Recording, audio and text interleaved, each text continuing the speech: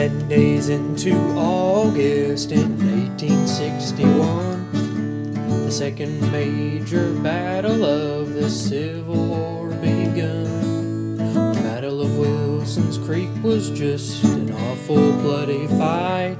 Well, we got whooped by them rebel boys, it was an awful sight. Wilson's Creek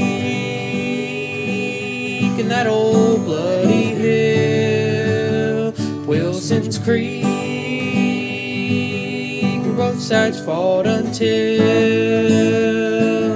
we ran plumb out of supplies and went back to Springfield. We tried to catch them off guard cause the sentries wasn't post. McCulloch's doggone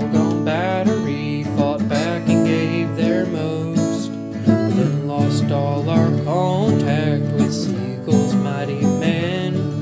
And they mistook them Cajun boys as the Iowans. Wilson's Creek and that old bloody hill. Wilson's Creek, where both sides fought until we ran plumb out of supplies and went back to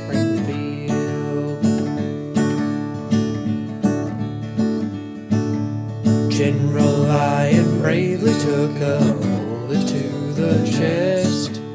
We done thought that what he did was for the very best. He sure made the Union proud, giving his life that day. When the rebels saw his ugly fate, they up and cried, hooray. Wilson's Creek and that old bloody hill.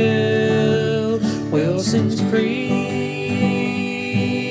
where both sides fought until we ran out of supplies and went back to Springfield. Wilson's Creek